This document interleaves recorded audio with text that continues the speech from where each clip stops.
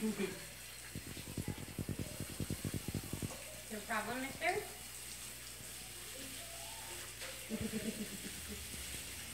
Raffy, you're not going out there.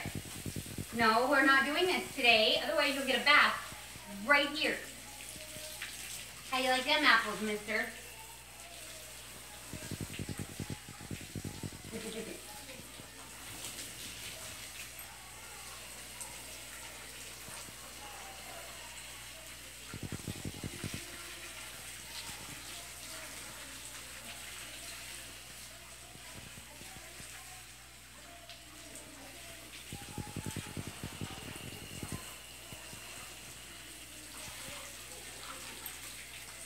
Good boy, Papa. Here, good boy. Am I watering the Papa? Look, you're I'm watering Papa. Is he gonna grow? Is he gonna grow? We're not going out there. Go. No, we're learning.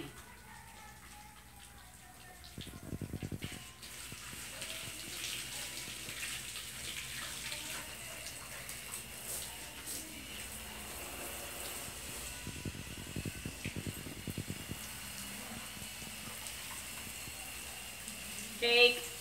Papa. Jake.